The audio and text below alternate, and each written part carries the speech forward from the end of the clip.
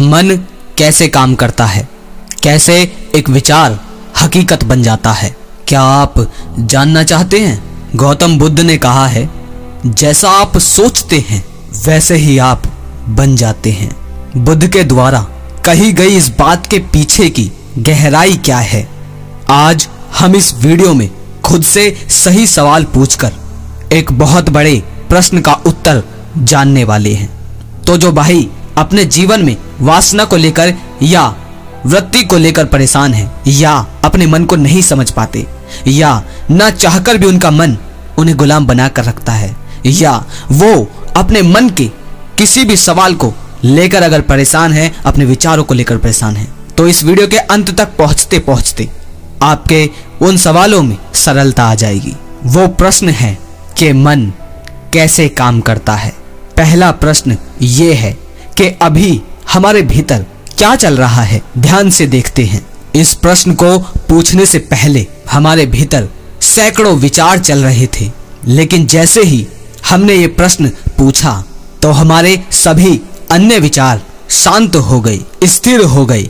जानते हो क्यों? क्योंकि जागरूकता विचारों को स्थिर कर देती है, शांत कर देती है। तो पहला समाधान जो हमें मिला है, अपने पहले प्रश्न से वो ये है कि जागरूकता के द्वारा हम अनचाहे विचारों को रोक सकते हैं।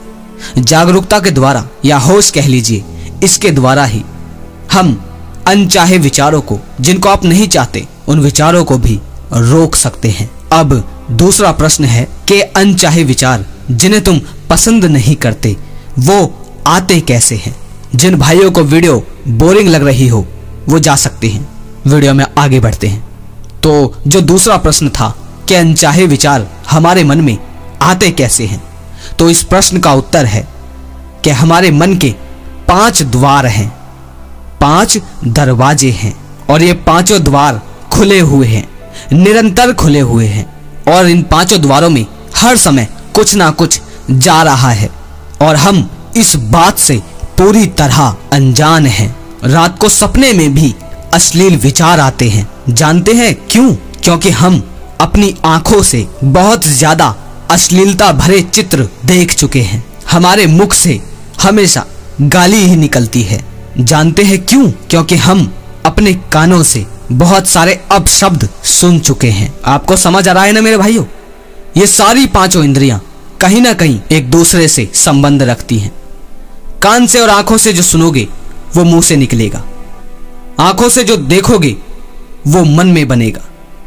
कानों से जो सुनोगे, वो आँखों के सामने आएगा और वही मन में चित्र बनाएगा। ये कहीं ना कहीं एक दूसरे से जुड़े हुए हैं। तो दूसरे प्रश्न का उत्तर है कि अनचाहे विचार भी हमने चाह कर ही भरे हैं, क्योंकि हमें उनमें मज़ा आता है। अब तीसरा प्रश्न है कि मन बहुत ज़्यादा अश्लीलता के कारण अशुद्ध हो गया है। रात को सोते समय भी अगर हम बड़बड़ाने लगे तो मुँह से अश्लील शब्द ही निकलते हैं। इस समस्या का समाधान कैसे करें? इस प्रश्न का उत्तर है सबसे पहले अपने भीतर से दोषी भाव हटाओ कि मैं बहुत पापी हूँ मैं बहुत बुरा हूँ। मेरे भीतर हर समय अश्लीलता ही चलती रहती है। इस दोषी भाव को अपने भीतर से हटा दो। काम वासना से भरे विचार एकदम स्वाभाविक हैं, बिल्कुल स्वाभाविक हैं, लेकिन इनकी अति जीवन को बर्बाद कर सकती है। ध्यान देना काम वासना के विचार बिल्कुल ही स्वाभाविक हैं, लेकिन इनकी अति इनका ज़्यादा होना जीवन को बर्बाद कर सकती है। इसीलिए इनसे आगे निकलना आवश्यक है। अगर आप एक संसारी जीवन जीते हैं तो मुक्ति का अर्थ या इनसे आगे निकलने का अर्थ ये नहीं है कि आप इन विचारों को पूरी तरह से छोड़ दें। मुक्ति का अर्थ ये है कि आप इस काबिल बन जाएँ कि और जो जीवन में सार्थक चीज़ें हैं ऊँची से ऊँची चीज़ें हैं। आप उन्हें भी देख सके। अभी काम वासना के चश्मे ने आपकी आँखों को पूरी तरह से ढक रखा है और ये बिल्कुल गलत है। तीसरे प्रश्न का उत्तर है, काम वासना से जुड़ी सामग्री को देखना और सुनना। या तो बंद कर दीजिए या उसे कम कर दीजिए। और वो चीज़ें देखिए और सुनिए जो आपकी बुद्धि का विकास करे। काम वासना के तीन कार्य हैं। पहला कार्य है सृजन करना, यानी जनसंख्या को बढ़ाना, दूसरा कार्य है आपको क्षणिक सुख देना। और तीसरा कार्य ये है कि आपको शारीरिक और मानसिक रूप से कमज़ोर करना। चौथा प्रश्न, मेरा मन काम वासना की ही तरफ़ क्यों जाता है? जबकि मैं ये जानता हूँ कि वह मुझे कमज़ोरी देगी। मन का बिल्कुल ही सीधा सा नियम है। मन हमेशा वहीं जाता है, जहाँ उसे आनंद और मज़ा नज़र आता है। और इसमें कुछ भी बुरा भी नहीं है, पर यही मन जो आनंद का लालच देता है, यही बाद में पछतावे की आग भी देता है। मन को समझो, मन वहाँ तो अपने आप चला जाता है, जहाँ इसे मज़ा नज़र आता है, और वहाँ पर अभ्यास से जाता है, प्रैक्टिस से जाता है, जहाँ आपको लगता है कि इस मन को जाना चाहिए वहाँ। इसे बिल्कुल ऐसे समझो, किसी ऊँचे कार्य का अलग आनंद है, और काम वासना का अलग आनंद। ऊँचे कार्य यानी आप किसी खेल को कह सकते हैं, या आप किसी की मदद करने, या इस समाज में जो गलत हो रहा है, उसे सही करने के लिए उसका अलग आनंद है। जो आपकी बुद्धि को ऊँचा ले जाए, उसमें एक अलग आनंद है, और काम वासना का अपना अलग आनंद है। लेकिन मन काम वासना की तरफ़ तो जाता है, लेकिन कभी भी उस चीज़ की तरफ़ नहीं जाता, जो ऊँचे से ऊँचा है। अब इसे उस जगह कैसे ले जाएँ, जहाँ कृष्ण है? जहाँ ऊँचे से ऊँचा साहित्य है, जहाँ ऊँचे से ऊँचा कर्म है, या जहाँ ऊँचे से ऊँचा आपका लक्ष्य है। इस प्रश्न का उत्तर है अभ्यास के द्वारा। अभ्यास वही है जिसके कारण आप चलना सीखे हैं। अभ्यास वही है जिसके कारण आप आज बोलना सीखे हैं। बचपन में आप रेंगते थे, लेकिन आपने निरंतर अभ्यास किया और आज आप दौड़ पाते हैं। कितनी बार आपको चोट लगी, कितनी बार आप गिरे लेकिन आपने निरंतर अभ्यास करना नहीं छोड़ा। आपने निरंतर प्रयास करना नहीं छोड़ा।